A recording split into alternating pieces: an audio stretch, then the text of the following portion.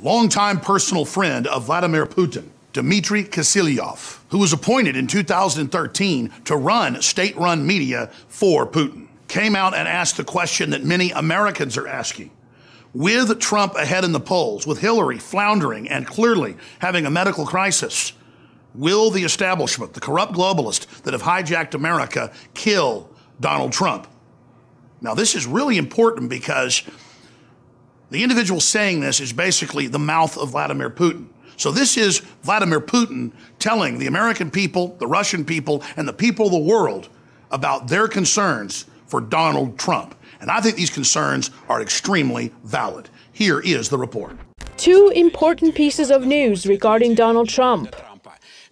Number one, he is ahead in polls by two points. Number two, Trump declared that if he is president, he aims to have, quote, very good relations with Russia. This combination of Trump's characteristics, his leadership in the presidential race, his ability to speak boldly, his intentions to turn over a new leaf regarding the Russian American relations, all this puts Trump in a very dangerous situation. Now they can just simply kill him.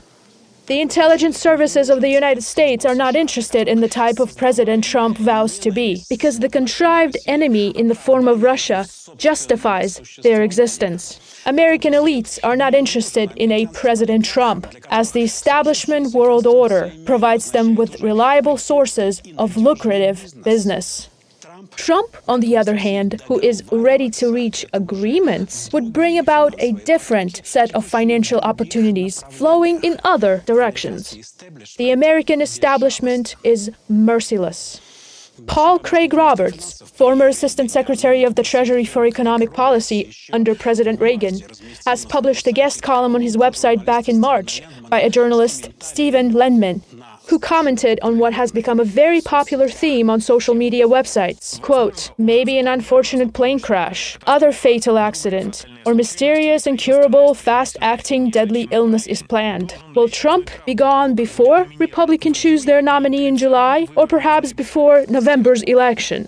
This narrative hasn't stopped. But the current state of the presidential race for Hillary Clinton is such where she has used up all of her available ammunition against Trump.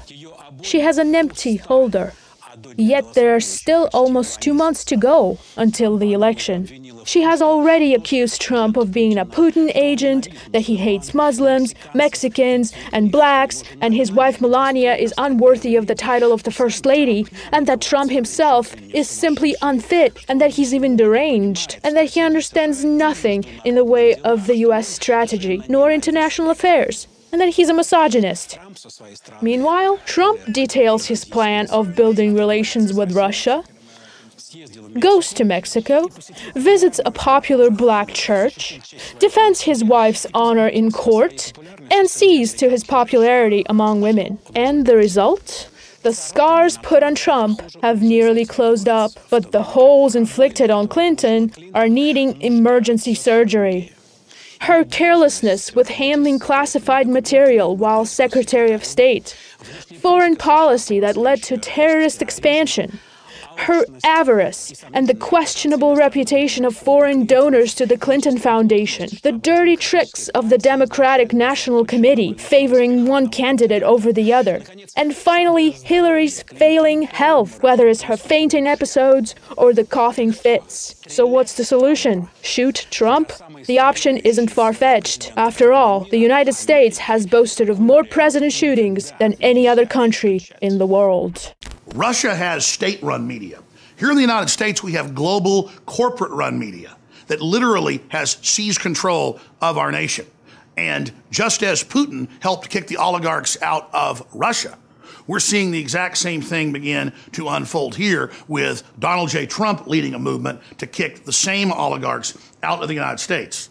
That's why they've tripled down, even in the Washington Post today, and are now claiming that Putin may be poisoning Hillary. Now, wait a minute. I thought that it was a conspiracy theory that she was even sick, but now the Russians are behind her illness. Ladies and gentlemen, we have foreigners already running our country. We already have globalists. And so they're trying to manipulate our nationalism against the Russians, hoping that we don't see the real threat internally that has hijacked our nation. I'm Alex Jones reporting for Infowars.com.